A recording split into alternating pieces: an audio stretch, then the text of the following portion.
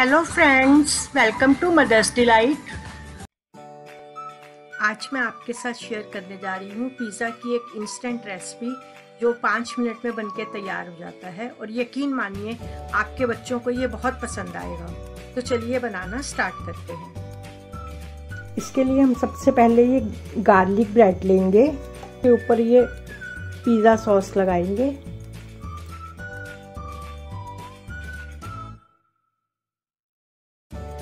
इसी तरह बाकी स्लाइसेस पर भी सॉस लगा लेंगे। अब हम इसके ऊपर प्याज लगाएँगे। मैंने ये लंबे लंबे काटे हैं। आप चाहें तो आप चॉप भी कर सकते हैं। शिमला मिर्च लगाएँगे।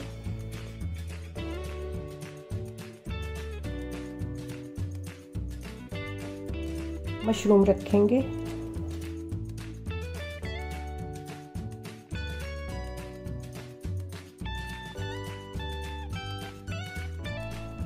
ऊपर टमाटर रखेंगे। आप अपनी पसंद की कोई भी सब्ज़ी डाल सकते हैं, जैसे बीच में कॉर्न भी डाल सकते हैं, पनीर भी डाल सकते हैं, कोई भी बेबी कॉर्न आप अपने हिसाब से कुछ भी कोई भी सब्ज़ी जो आपके बच्चे पसंद करते हैं, उसको डाल सकते हैं। चीज़ डालेंगे। चीज़ आप अपने हिसाब से कम ज़्यादा कर सकते हैं। हमारे घर में चीज़ सब बहुत पसंद करते हैं तो इसलिए मैं ज़्यादा डालती हूँ। ऊपर से ऑरिगेनो डाल देंगे। चिली फ्लेक्स डालेंगे। और इसी तरह बाकी दो पिज़्ज़ा भी रेडी कर लेंगे। ये देखिए, हमारे चारों पिज़्ज़ा रेडी हो गए हैं। अब हम इसे माइक्रोवेव के स्टैंड पे रखेंगे। जो लंबा वाला रैक होता है ना, उस पर रखना है। ये मैंने सारे पिज़्ज़ा बेस माइक्रोवेव स्टैंड के स्टैंड पर रख दिए हैं। मैंने माइक्रोवेव को कन्वेक्शन मोड पे 10 मिनट के लिए प्री हीट कर लिया था। अब हम इसे बेक करेंगे। हमें ज़्यादा बेक नहीं करना क्योंकि हमारी ऑलरेडी ब्रेड जो है, हमारी ऑलरेडी बेक्ड है। बस इतना ही करना है कि ये जो चीज़ जो है, ये मेल्ट हो जाए। ये देखिए, हमारा दो मिनट में पिज़्ज़ा बन के रेडी हो गया है। अब हम इसे सर्व करेंगे।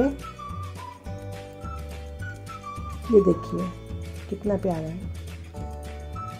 ऊपर से चीज़ भी मेल्ट हो गया है, सब्ज़ियाँ भी हल्की सी क्रंची हैं और नीचे से ब्राउन भी हो गया है।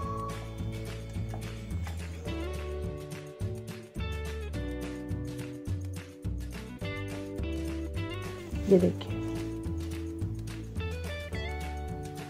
अगर आपके बच्चे कभी पिज़्ज़ा खाने की जिद करें और आपके पास टाइम कम हो तो आप इसे बनाकर अपने बच्चों को खुश कर सकते हैं। आप अगर चाहें तो ऊपर से ऑरिगेनो और चिली फ्लेक्स और डाल सकते हैं। अगर आपको ये रेसिपी पसंद आई आई है तो आप मेरी वीडियो को लाइक कीजिए और अगर आप मेरे चैनल पर नए हैं तो मेरे चैनल को सब्सक्राइब करना ना भूलें। आप ये रेसिपी एक बार ज़रूर ट्राई करें और अपने अनुभव मेरे साथ शेयर करें।